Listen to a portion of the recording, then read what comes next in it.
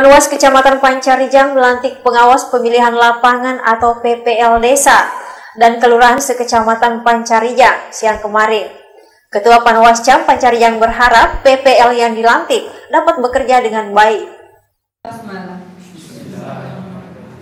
Acara pertama menyanyikan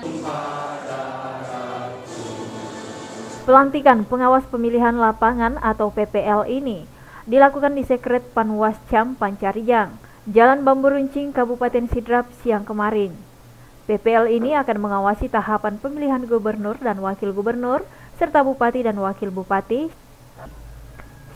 Syamsul Bari, Ketua Panwas Cam Pancarijang berharap semua anggota pengawas pemilihan lapangan atau PPL yang dilantik ini bisa bekerja dengan baik penuh dedikasi sesuai tanggung jawab yang diembannya.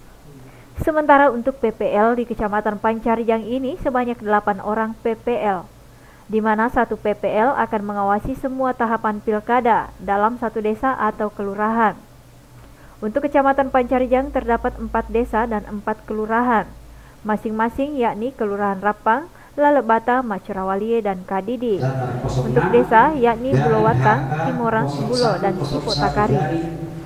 Angka nomor 1 garing 2006 kegiatan hari ini yaitu kegiatan pelantikan uh, pengawas pemilihan lapangan desa kelurahan atau PPL yang mana pada hari ini dilantik 8 orang.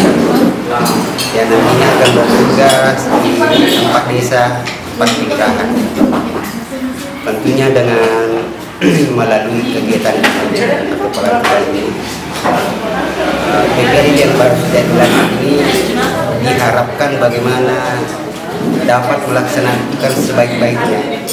Tentunya harapan kami kepada mereka-mereka semua agar senantiasa lebih aktif di dalam mempelajari regulasi yang kaitannya dengan proses pengawasan pemilihan uh, gubernur dan wakil gubernur ini.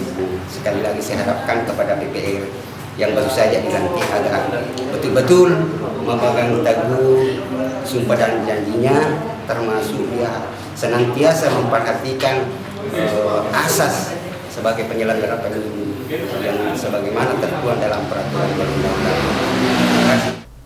Selain PPL, hadir dalam pelantikan ini Panwaslu Kabupaten, Panwascam, Camat, tokoh masyarakat, agama, dan pemuda di Kecamatan Pancarijang. Dari Kecamatan Pancarijang, Erwin Parolai melaporkan.